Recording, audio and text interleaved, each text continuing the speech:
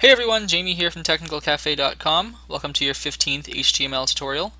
In the last tutorial we talked about adding backgrounds to our pages, both plain old color backgrounds, and then we talked about adding image backgrounds to our web pages. Um, so in this tutorial we're going to be talking something about something a little different, and that's going to be creating HTML forms. And what a form does is it just takes information from the user and it sends it over to another page, um, provided that's what you want it to do.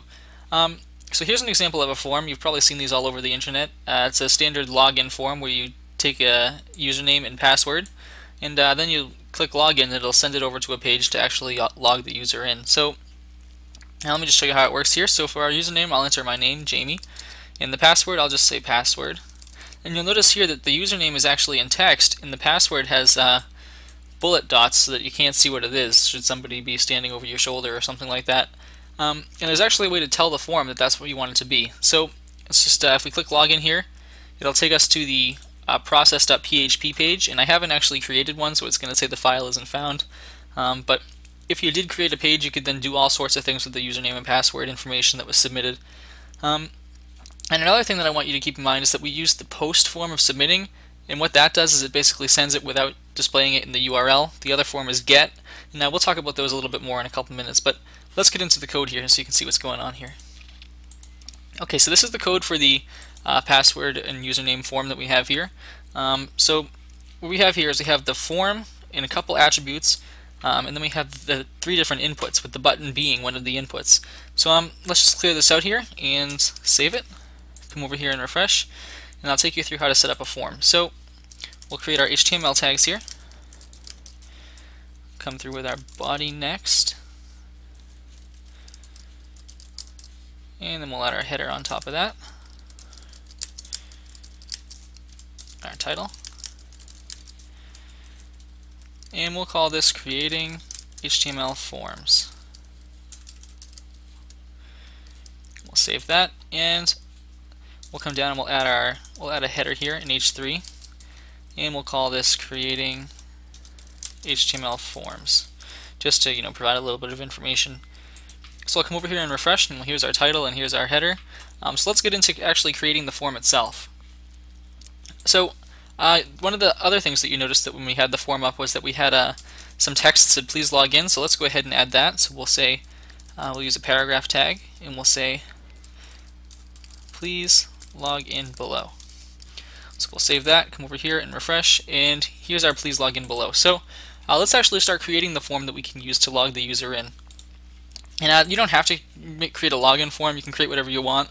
Um, but in this tutorial I'm just going to show you the basics of uh, how to create a form. And uh, I think the login form is probably the most recognizable because they're all over the place. Um, you can also do like a contact form or other types of forms. So um, let's just come over here. And the way we're going to create a form is we're going to use a set of tags um, called the form tags. And um, it's similar to the, how, to, how you would create a list with the UL or OL.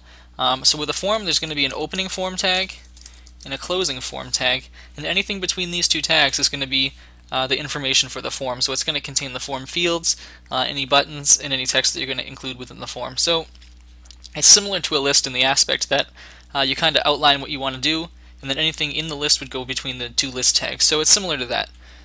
So let's just go ahead and save this, come over and refresh, and you'll notice that there's nothing on the page.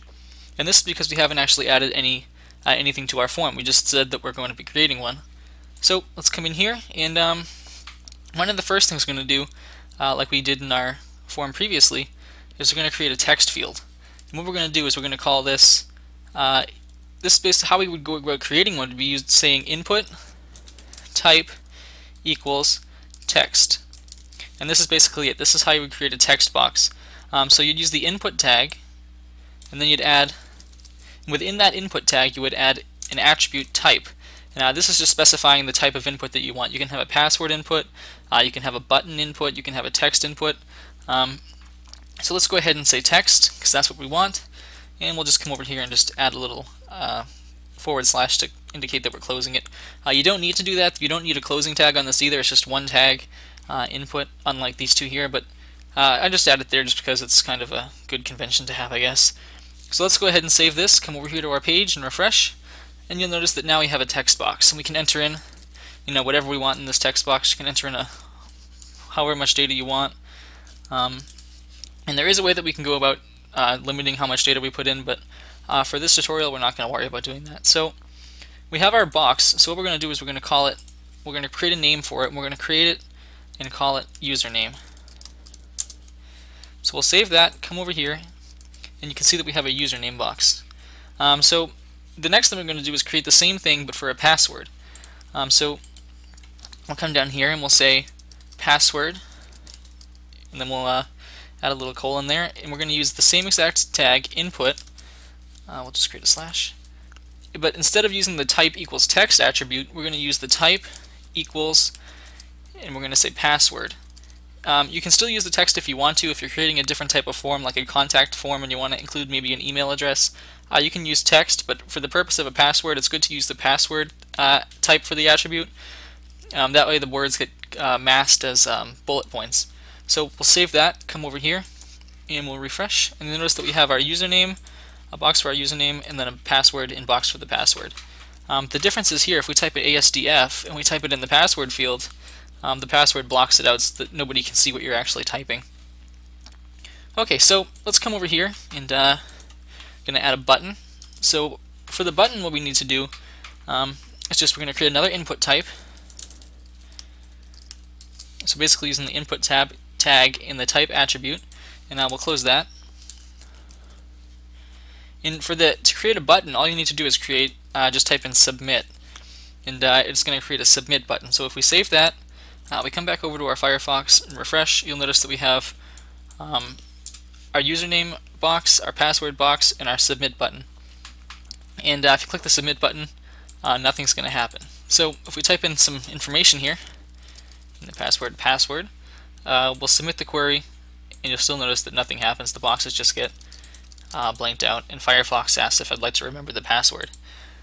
Um, so what we're going to do first is we're going to actually change the name of this uh, of this button from submit query to login. Uh, submit query is just the default, um, but since we're creating a login script, we're going to basically change it to login. So what we're going to do is add another attribute to the input tag. Um, so we're going to say name, or value rather, equals, and then uh, some parentheses, and it's a, a, quotation marks rather. And remember, it's important to add the quotation marks, um, especially if you're using other programming languages than HTML, because uh, it might not work correctly. So we're going to say uh, log in. Save that, come over and take a look, and you'll notice that our button changed to login.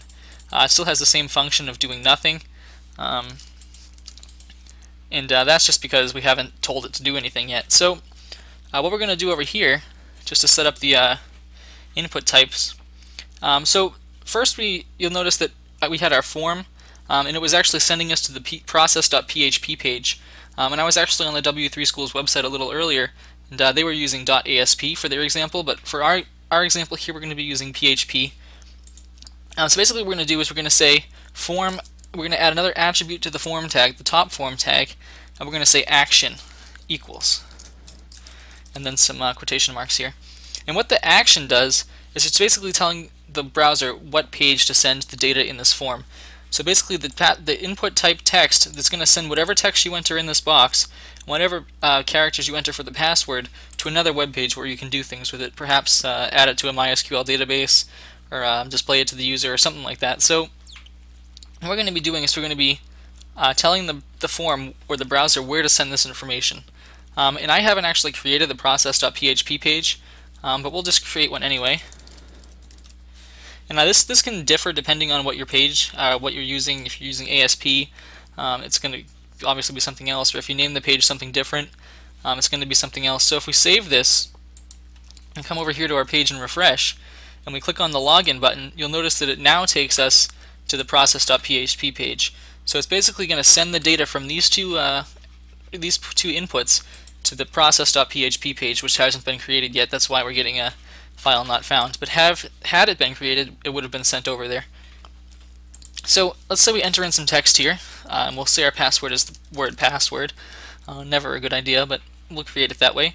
And we click login, nothing will happen. So let's come back to our code here, and uh, we're going to add a couple more attributes to the um, to the username and password fields here. So after the text attribute, we're going to type in name equals and then some quotation marks. And the name attribute is basically going to be uh, used for when you send it to another page. So when we send it to the PHP page, login or process.php for uh, for example, um, it's going to be we're going to be trying to we might want to store these values into var variables in PHP. Um, and this might sound confusing, so don't worry about it. You're not. Uh, this tutorial isn't really based on PHP, but I'm just kind of showing you how to set it up um, for when you do decide to go about learning PHP if that's something you're interested in. So we're going to give this name, uh, we're going to call it username. So basically, when this gets sent to the PHP process.php page, uh, it's going to be able you're going to be able to identify it and grab the information by calling it username. If you called it uh, input pass username or um, name, you can call it whatever you want as long as you remember to use the same input name on the PHP page. So we're going to do that, and for the password we'll do the same thing. Use our name attribute and call it password. And we'll save that, come over here and refresh, uh, enter in our information, and we'll log in. And you'll notice now that we give it, that we've given it a name that it'll say uh, pro process.php question mark username equals Jamie and password equals password. So this is actually using a get method to send it to the process.php page. And now these are the names that we created, username and password within our code here. And uh, this is what's actually going to be sent to the page uh, where we can do whatever we want with it. So let's go back to our page here and we'll refresh it. Just get my name out of there. So then we'll come back here to our code here and we're also going to give our, our submit button a name um, and it's not going to show up. It's not going to really be used for much right now, uh, but we'll call it submit. And um, in PHP later on, you might want to check to see if the submit button's actually been clicked, and you can do that by grabbing the submit name here. So um, this is basically how you go about creating a basic HTML form. Um, for right now, if you're going to use it, you're not going to really need the name attributes here. Um, but this it's up to you whether to use it. When you start using PHP or maybe some JavaScript, um, these might come in handy. And now one other thing that I want to go over here is another attribute for the form tag, um, and that's actually going to be the, the method equals and then some quotation marks. And this attribute is basically saying how the data from the form is going to be sent to the process.php page here. So the method that we've been using here, the Jamie and we're enter password here, is actually a get method um, because the username and uh, password are both shown in the URL here. You'll notice I actually spelled password wrong. Um, but they're shown in the URL, and for the example of sending a password, you don't really want it to be shown in the URL um, because if someone's standing behind you or looks in your history or something, uh, they can see that your password is password. So what we can do to prevent that is use a post method.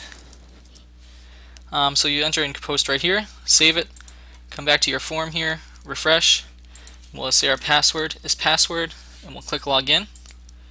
And you'll notice that it gets sent without adding anything to the URL, um, so that way nobody can see what your username or password is, or see what information is in the URL. So it's just a different thing you want to do. There's different examples or different uses for get and post, uh, you know, depending on what you're trying to do with your website.